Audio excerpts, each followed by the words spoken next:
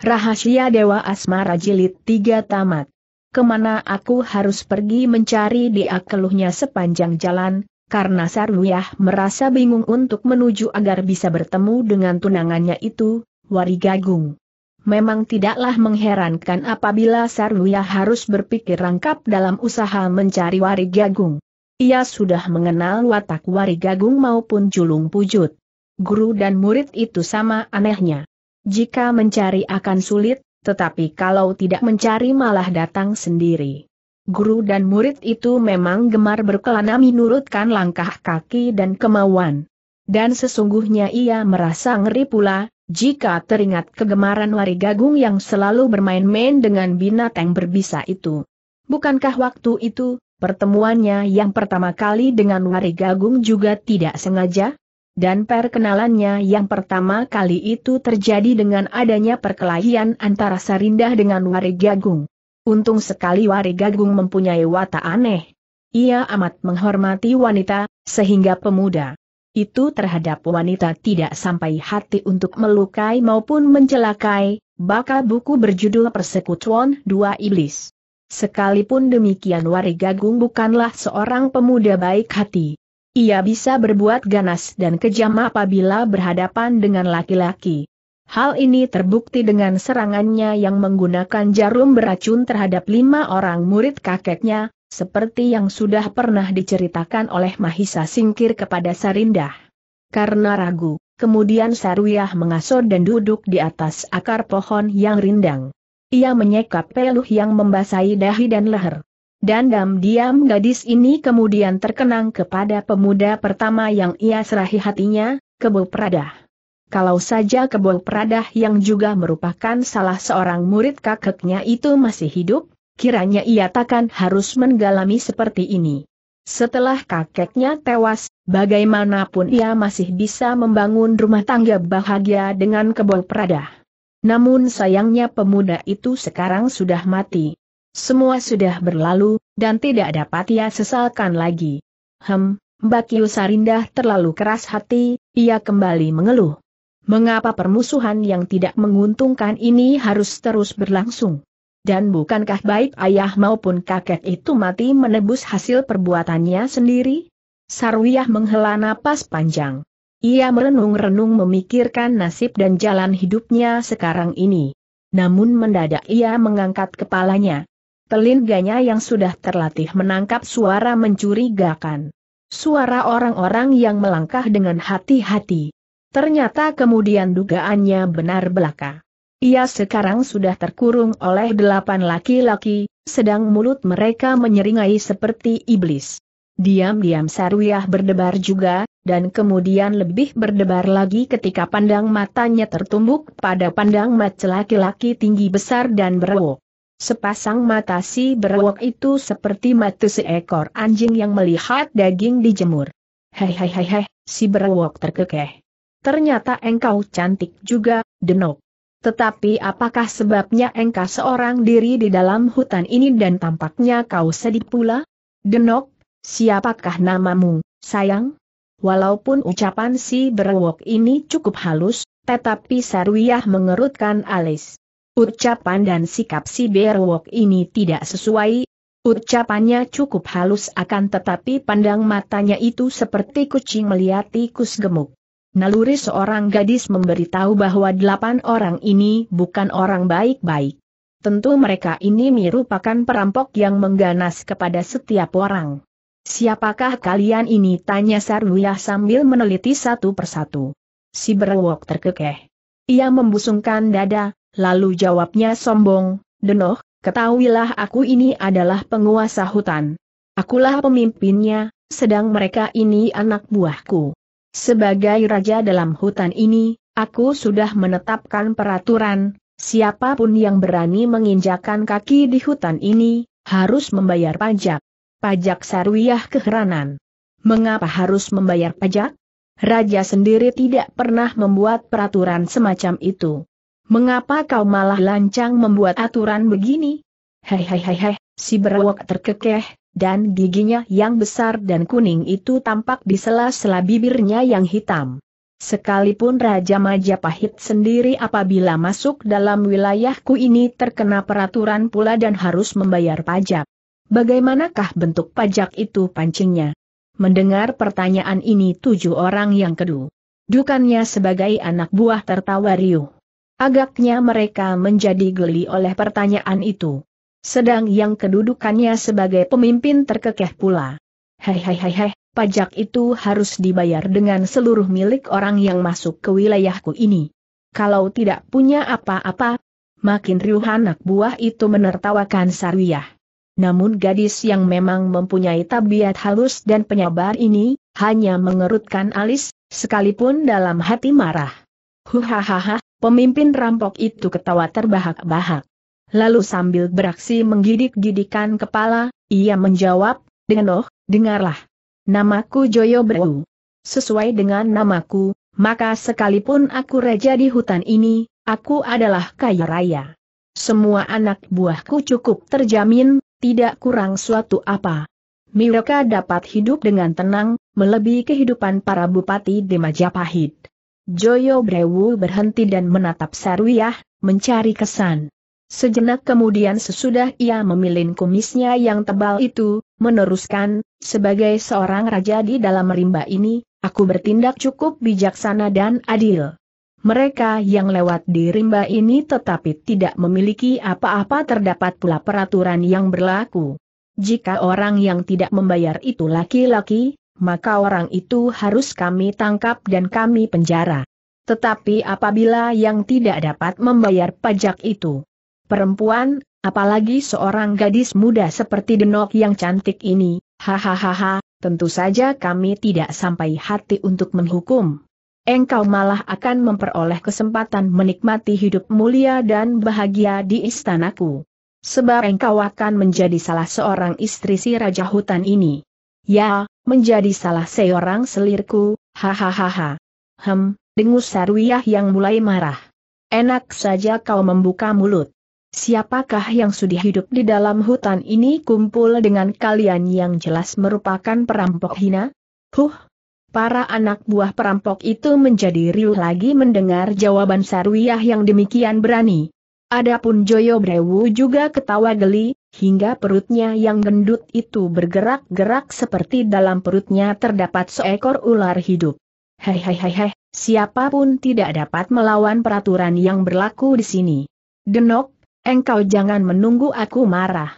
Lebih baik engkau menyerah saja, kemudian aku boyong dan hidup sebagai ratu dalam istanaku.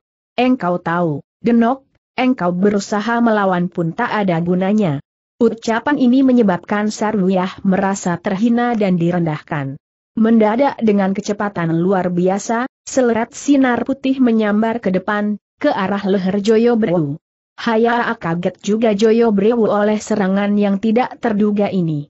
Namun dia seorang pemimpin perampok yang berilmu tinggi. Serangan tidak terduga ini dapat ia hindari dengan berlompatan.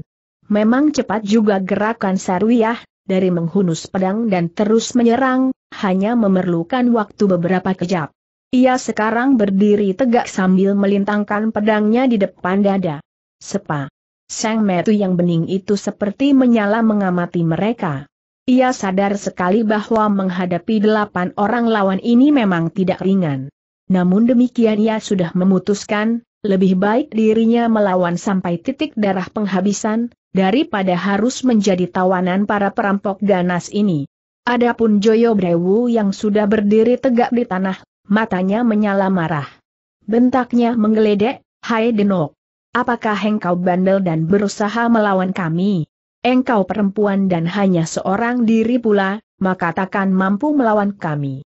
Denok, hem, sungguh sayang juga apabila aku harus menggunakan kekerasan.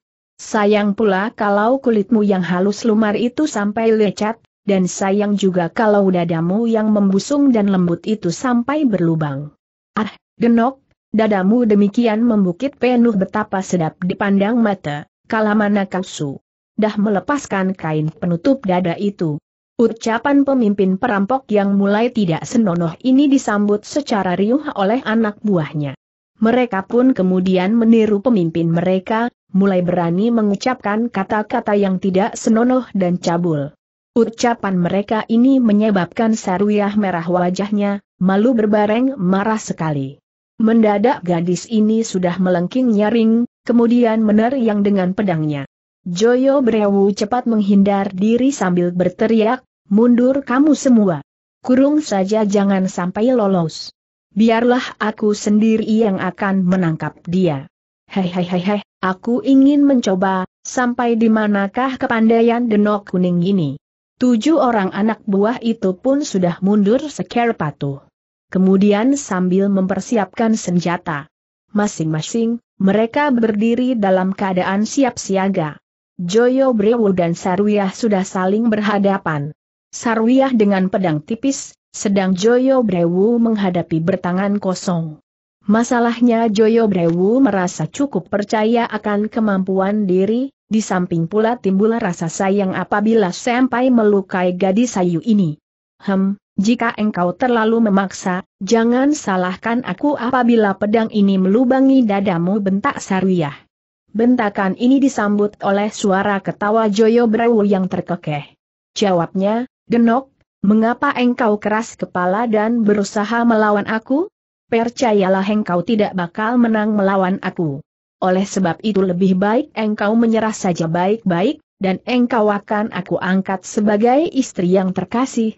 Ia berhenti mencari kesan. Sejenak kemudian ia terkekeh, lalu sambungnya, hei, engkau akan menjadi ratu. Genok, aku berjanji, akan selalu membahagiakan dirimu keparat. Setan alas lengking Sarwiyah yang sudah marah sekali. Mulutmu kotor dan cabul. Huh, engkau harus mampus dalam tanganku hari ini. Siutwut. Haya a. Sambaran pedang gadis ini yang cepat sekali dan berantai, mengejutkan Joyo Breu. Karena sekali serang, gadis ini sudah menyerang mata, pelipis, leher, dada dan ulu hati. Untung juga Joyo Brewu cukup waspada. Ia dapat menggagalkan semua serangan gadis ini. Dan diam-diam ia menjadi amat khawatir, apabila dirinya sampai kalah, apabila tetap mempertahankan diri dengan tan. Gan kosong. Sebagai seorang kasar dan selalu bergelimang dengan kejahatan sejak masih muda, apabila keselamatannya terancam, ia akan kembali menjadi buas dan ganas. Dan jika perlu, Walaupun pada mulanya ia merasa tertarik oleh kemudaan dan wajah Ayu Sarwiyah, tidak segan lagi untuk membunuhnya demi keselamatan diri. Siut, wut, terang-terang. Ternyata gerakan Joyo Brewu cepat juga, ketika mencabut golok kemudian menangkis sambaran pedang Sarwiyah yang mengancam dada dan pundaknya. Akibat dari benturan senjata itu, dua-duanya terhuyung mundur. Bedanya kalau Joyo Brewu hanya selangkah ke belakang, tetapi Sarwiyah sampai tiga langkah ke belakang. Dari kenyataan ini terbuktilah dalam hal tenaga, Joyo Brewu memang di atas lawan. Sesungguhnya Joyo Brewu ini memang bukan sembarangan. Sebelum menjadi perampok di wilayah ini, ia pernah ikut beberapa kali pemberontakan. Di dalam buku jasa susu harimau, sudah pernah pula Joyo Brewu ini berhadapan dengan Dewi Sri Tanjung. Dan hampir saja Dewi Sri Tanjung celaka oleh jarum beracun yang dilepaskan apabila tidak ditolong oleh Kia Geng Tunjung Biru, gurunya. Sarwiyah menjadi kaget juga ketika lengannya terasa kesemutan, ketika pedangnya berbenturan dengan golok lawan. Namun demikian gadis ini tidak menjadi takut, dan ia kembali menerjang ke depan dengan pedangnya. Terang-terang-terang. Terjadi lagi benturan senjata dan kembali mereka saling terhuyung ke belakang. Para anak buah yang menonton di pinggir mengamati penuh perhatian. T. Tapi mereka percaya, pada akhirnya pemimpin merekalah yang bakal menang. Pendapat mereka ini ternyata benar. Setelah 25 jurus berlalu, Joyo Brewu mulai menampakkan keunggulannya. Pedang Sarwiyah yang semula bergerak cepat itu, makin lama ruang geraknya menjadi semakin sempit dan seakan-akan medan perkelahian dipenuhi oleh sambaran golok Joyo Brewu yang tajam. Masih untung bagi Sarwiyah, setelah Joyo Brewu dapat menekan lawan, seleranya untuk memiliki gadis muda dan ayu ini kembali menguasai dadanya. Serangan-serangannya kemudian selalu berusaha untuk meruntuhkan pedang lawan, dan menghindarkan gadis ini jangan sampai terluka dan celaka di tangannya. Diam-diam Sarwiyah mengeluh juga menghadapi kenyataan ini. Ternyata pemimpin perampok ini ilmunya cukup tinggi. Walaupun ia sudah mengerahkan kepandaiannya, ia belum juga dapat mengatasi, malah sebaliknya ia terkuasai oleh lawan. Dalam keadaan demikian ini, Sarwiyah menjadi nekat. Ia tak mungkin menyerah, sebelum nyawa lepas dari raga. Hiaat pelengking Sarwiyah dalam usahanya menambah semangatnya, sambil menyambarkan pedangnya ke dada lawan, lalu ia teruskan untuk membabat pinggang. Lepas tiba-tiba terdengar teriakan Joyo Brewu yang nyaring disusul menyambarnya golok. Terang. Aih, Benturan yang kuat sekali menyebabkan Sarwiyah tidak kuasa lagi mempertahankan pedangnya. Berbareng dengan teriakan gadis ini yang nyaring, pedang itu sudah terbang, lalu disambar oleh salah seorang anak buah Joyo Brewu. Hei hei hei hei, apakah engkau masih tetap membandel? Denok Ayu ejeknya bangga, sambil menyarungkan goloknya. Wajah Sarwiyah sebentar merah sebentar pucat. Hatinya menjadi khawatir sekali di samping bingung. Dirinya tidak mempunyai senjata yang lain, padahal melawan dengan senjata saja dirinya tidak mampu. Apalagi sekarang tanpa senjata, manakah mungkin bisa menang? Akan tetapi ia sadar apabila terus melawan sampai nyawanya lepas dari raganya justru lebih menguntungkan dirinya dibanding menyerah. Karena jika sampai menyerah, nasibnya akan lebih celaka lagi. Pendeknya, sekalipun hanya menggunakan kaki dan tangan, ia harus melawan terus. Hei hei hei hei, Genok, apakah keuntungan kita terus berkelahi seperti ini? Lebih baik antara engkau dan aku saling peluk dan berciuman. Hahaha, bukankah asyik? Jahanam. Mulutmu kotor teriak Sarwiyah marah berbareng malu. Huh, engkau bisa menjamah diriku, sesudah aku tak bernyawa lagi. Lalu dengan nekat Sarwiyah sudah menerjang maju menggunakan tangan dan kaki untuk menyerang. Tangan kanan terkepal meninju dada, sedang tangan kiri dengan jari terbuka setengah melengkung siap untuk mencengkeram leher. Tetapi atas serangan ini Joyo Brewu hanya terkekeh mengejek. Pemimpin perampok ini dalam hal tenaga justru jauh lebih kuat. Maka atas serangan ini Joyo Brewu tidak berusaha mengelak, malah ia menyambut serangan itu dengan maksud menangkap. Tak, aduh. Joyo Brewu terhuyung mundur dan berjingkrak sambil berkawak-kawak, kemudian meringis seperti keramakan terasi. Ternyata lawan sudah menggunakan kecerdikannya dengan menendang tengah selakangan Joyo Brewu. Masih untung bagi Joyo Brewu, tendangan itu tidak mengena secara tepat. Namun demikian tengah selakang yang amat perasa dan ringkih itu, terkena oleh tendangan, menyebabkan Joyo Brewu merasa kesakitan setengah mati. Rasanya cekot-cekot sampai ke ubun-ubun, campur dengan rasa panas, klieng-klieng dan pandang matanya menjadi kabur. Sarwiyah tidak memberi kesempatan lawan bernapas dan terus mengejar dengan serangan-serangannya. Akan tetapi karena kemudian Joyo Brewo sudah memutarkan goloknya yang tajam, menyebabkan gadis ini tidak berani sembrono. Joyo Brewu yang menderita kesakitan setengah mati itu menjadi penasaran. Maka sambil menyelamatkan nyawanya ia berteriak, maju. Keroyok. Kalau perlu bunuhlah gadis setan ini. Sekali saja sudah cukup perintah yang ia berikan itu. Tujuh laki-laki kasar ini segera menerjang maju saling mendahului. Tetapi mengingat Sarwiyah sekarang sudah tidak bersenjata lagi, maka mereka pun menyerang tanpa senjata pula. Dan dalam keadaan seperti ini masing-masing ingin lebih dahulu dapat menangkap, dan kalau perlu akan diajak bergumul. Dengan metu menyinarkan api gadis ini mengamuk. Dua orang yang menerjang dari depan ia sambut dengan sambaran kaki dan tangan kanan. Tetapi bersamaan dengan itu, ia merasakan sambaran dari belakang, kiri maupun kanan. Ia melengking nyaring dan menjejakkan kakinya, melenting agak tinggi di udara. Usahanya ini berhasil menghindarkan diri dari serangan lawan.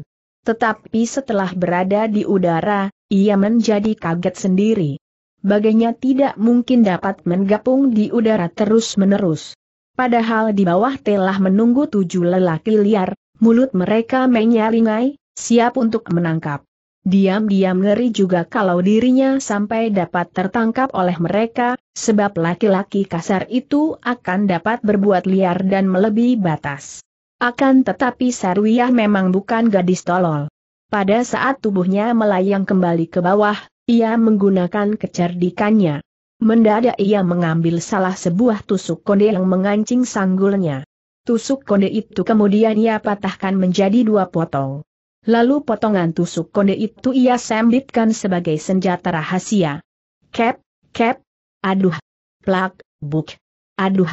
Serangan tidak terduga ini menyebabkan empat orang perampok gulung koming kesakitan. Yang dua orang terluka oleh tusuk konde pada pipi dan dahi, sedang yang dua orang lagi terjerembab oleh pukulan tangan yang mengenai ubun-ubun, sedang yang seorang oleh tendangan yang mengenai tengkuk. Akan tetapi sekalipun sekaligus ia cepat merobohkan empat lawan, dirinya menderita rugi juga. Salah satu pukulan dari perampok mengenai betis, menyebabkan ketika dirinya menginjakan kaki ke bumi agak sempoyongan. Saat itu seorang perampok menerjang dengan kero menyerang kaki. Dan celakanya dari belakang menung. Beruk perampok yang lain. Guna menyelamatkan diri ia melempar diri ke samping. Tetapi, Brett, bajunya robek lebar oleh cengkeraman perampok. Aih teriak gadis ini yang kaget, dan wajahnya menjadi pucat. Koyaknya baju ini menyebabkan dadanya terbuka. Kendati dada itu masih dilindungi oleh kain penutup dada, namun gadis ini merasa malu sekali. Guna menutup dadanya yang membusung ini terpaksa ia harus menggunakan tangan kiri, memegang pinggir baju. Karena luka yang diderita para perampok itu hanya ringan dan menderita agak berat hanya seorang yang terpukul ubun-ubunnya, maka dengan kemarahan yang meluap-luap para perampok yang terluka ini hampir berbareng sudah menghunus senjata lalu minerjang. Tadi pemimpin sudah memerintahkan, kalau perlu harus dibunuh. Maka apabila perempuan ini harus terbunuh mati, mereka takkan dipersalahkan oleh seng pemimpin. Joyo Brewu juga sudah berkurang rasa sakitnya. Dengan wajah beringas pemimpin perampok ini sudah melompat maju pula. Bentaknya kemudian, mundurlah kalian. Aku sendiri yang akan menyelesaikan gadis liar ini. Perintah ini segera diturut pula oleh anak buahnya. Mereka saling berloncatan mundur, tetapi senjata masih tetap siaga. Menghadapi ancaman bahaya ini, terpikir oleh Sarwiyah untuk melarikan diri. Akan tetapi hal ini juga tidak mudah ia lakukan, sebab di samping anak buah perampok ini mengurung dengan senjata, kakinya pun masih terasa sakit sekali. Sementara itu Joyo Brewu yang beringas sudah menghampiri dengan golok besar yang siap dalam tangan. Sepasang mata pemimpin perampok ini mendelik dan menyala, mengerikan sekali. Kemudian dari mulutnya terdengar desisnya, ku bunuh kau. Ku cincang tubuhmu. Diam-diam Sarwiyah gentar juga. Apakah yang harus ia lakukan sekarang? Namun tiba-tiba dari dalam hatinya timbul keputusan, huh, lebih baik mati. Setelah memutuskan lebih baik mati, mendadak saja hatinya menjadi mantap. Ia berdiri dengan mata, tidak berkedip, menjaga segala kemungkinan. Untung-untungan, kalau Joyo Brewu menyerang dengan goloknya, ia akan berusaha menghindar sambil melompat, kemudian ia akan berusaha merebut golok lawan. Setelah jarak antara Sarwiyah dengan Joyo Brewu tinggal dua dipa lagi, Joyo Brewu berhenti. Mampuslah kau bentaknya menggeledek. Hampir berbareng dengan bentakannya, tubuh yang tinggi besar itu sudah melompat ke depan sambil membabatkan goloknya. Terang. Aih, pekik tertahan itu keluar dari mulut Sarwiyah maupun Joyo Breu. Sarwiyah tadi hanya merasakan sambaran angin yang halus. Kemudian ia mendengar suara senjata berbenturan. Dan ketika gadis ini memperhatikan, berseru gugup, Oh, kau, benar, sahut pemuda bersenjata pedang itu, dan sekarang sudah berdiri di dekat Sarwiyah. Hadirnya pemuda itu secara tiba-tiba dan telah dapat menangkis golok Joyo Brewu ini, menimbulkan kegemparan. Para anak buah perampok itu kaget. Dan, lebih kaget lagi malah Joyo Brewul sendiri. Sebab tangkisan pedang pemuda itu dapat menyebabkan goloknya terpental dan ia merasakan pula lengannya kesemutan dan telapak tangannya panas. Joyo Brewu amat penasaran, namun demikian ia tidak berani sembarangan. Mbak Yu, mana pedangmu tanya pemuda itu sambil menatap Sarwiyah. Gadis ini agak malu juga mendengar pertanyaan ini. Sahutnya lirih, pedangku telah dirampas oleh Jaha. Nam itu. Apakah sebabnya engkau sampai dikeroyok mereka adalah perampok-perampok ganas yang B. Berusaha merampok keselamatanku. Hem, kalau demikian gunakanlah pedangku ini untuk melindungi keselamatanmu. Apa Sarluyah terbelalak kaget? Kau apakah? Mempunyai senjata lain? Terimalah dahulu. Hayolah, gunakanlah pedangku ini. Sarwiyah menerima juga pedang dari pemuda itu. Tetapi ketika melihat pemuda yang menolong ini tidak bersenjata lagi, kaget, adi mana senjatamu? Engkau tidak perlu khawatir, Mbak Yu. Aku masih sanggup menghadapi manusia busuk ini dengan tangan dan kakiku. Kewajibanmu sekarang, pergunakanlah pedang itu untuk membabat anak buahnya. Tidak bantah Sarwiyah dan berusaha mengembalikan pedang itu. Mbak Yu, tidak banyak waktu untuk berbicara. Sekarang gunakan pedang itu guna melawan para perampok itu, dan pemimpin itu serahkanlah padaku. Sarwiyah masih akan berkata lagi, tetapi pemuda penolongnya ini sudah melompat maju dan menerjang. Joyo Brewu hanya bertangan kosong. Sarwiyah menjadi amat gelisah. Namun demikian ia sudah tidak mempunyai waktu lagi, karena para perampok itu sudah bergerak maju dan mengurung. Terang, terang, kring, plak. Sambaran pedang pinjaman di tangan Sarwiyah disambut oleh senjata para perampok yang mengeroyok lengan Sarwiyah merasa tergetar juga oleh tangkisan senjata lawan. Akan tetapi dengan adanya pedang di tangannya sekarang ini, ibarat seekor hari mau tumbuh tanduk. Sarwiyah mengamuk dengan hebatnya, sedangkan pedang itu dalam waktu singkat sudah bernoda darah, sebagai hasil melukai pundak seorang perampok. Di pihak lain Joyo Brewu menggeram keras. Kemarahannya meluap-luap, maka pemimpin perampok ini menjadi amat buas. Goloknya menyambar dengan dahsyat. Angin sambaran golok itu cukup kuat, dan baru sambaran angin goloknya saja sudah bisa membuat dada sesak. Tetapi Joyo Brewo sekarang ini ibarat menyerang bayangan. Gerakan pemuda ini terlalu cepat, sehingga diam-diam Joyo Brewu menjadi kaget berbareng heran. Maka sambil membentak nyaring, ia menyebatkan goloknya lagi secara berantai. Arah sasarannya pundak, dada dan pinggang. Siut, wut. Ah! Tetapi lagi-lagi sambaran golok itu luput, malah Joyo Brewu berseru kaget saking heran. Sebab tahu-tahu pemuda yang ia hujani serangan itu sudah lenyap. Pada saat ia bingung ini, tiba-tiba terdengar suara orang tertawa di belakangnya. Joyo Brewu cepat membalikan tubuh sambil menyabatkan goloknya. Tetapi lagi-lagi mengenai angin, karena goloknya kalah cepat dengan gerakan pemuda itu.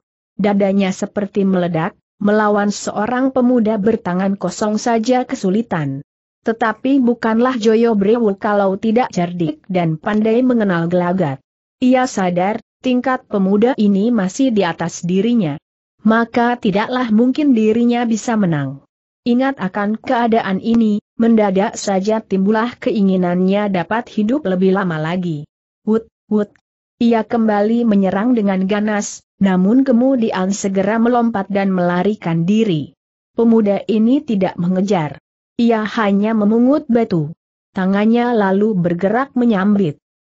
Batu tersebut menyambar dengan kecepatan luar biasa. Tak, aduh, Jerit nyaring terdengar dari mulut Joyo Brewu, kemudian pemimpin perampok ini roboh dengan kepala pecah. Sebagai akibatnya pemimpin perampok yang ingin menyelamatkan diri ini malah tewas. Melihat pemimpin mereka sudah melarikan diri, kemudian roboh dalam tangan pemuda itu, kuncuplah nyali mereka. Tiba-tiba mereka berteriak, lalu lari tunggang langgang mencari selamat. Huh, mau lari ke mana kamu bentak Sarwiyah sambil akan mengejar. Jangan cegah pemuda itu sambil melompat dan menghadang di depan Sarwiyah. Hadangan itu tiba-tiba dan di luar dugaan Sarwiyah. Sudah tentu gadis ini sulit untuk menahan langkah, sehingga terpaksa menubruk pemuda itu. Untung ketika itu pedangnya di sebelah kanan tubuh. Kalau pedang itu di depan, mungkin pedang itu bisa makan tuan. Pemuda yang menolong itu kaget sendiri dan cepat menggunakan tangannya untuk memeluk, menahan Sarwiyah agar tidak terpelanting jatuh. Sebaliknya Sarwiyah tanpa sesadarnya pula sudah memeluk pemuda itu, sedang pedangnya terlepas jatuh. Pemuda ini memang terlalu dekat dalam usaha menghadang. Maka tak mengherankan apabila berakibat mereka harus bertubrukan dan berpelukan. Ah terdengar pekik Sarwiyah yang tertahan. Mbak Yu, maafkanlah aku, pinta pemuda ini Sen. Bil melepaskan pelukannya. Akan tetapi ketika lengan yang semula memeluk itu lepas, tiba-tiba mata pemuda ini terbelalak. Baju bagian depan gadis ini terbuka. Dan walaupun dada itu masih tertutup oleh kain penutup dada, namun yang membusung itu tampak nyata dan kulit yang kuning ini menyebabkan jantung pemuda ini bergetar hebat. Tamat. Salah, Minggu akhir Maret 1987. Maafkan penulis, Sampai di sini dahulu cerita ini kita akhiri, tetapi bukan berarti tamat. Masih mengganjal dalam dada kita, siapakah sebenarnya pemuda yang menolong Sarwiyah itu? Nama belum disebut dan celakanya jantung pemuda ini bergetar hebat ketika melihat payudara Sarwiyah yang membukit penuh. Nah, pada lanjutan cerita ini yang berjudul Perjalanan yang Berbahaya, Anda akan tahu.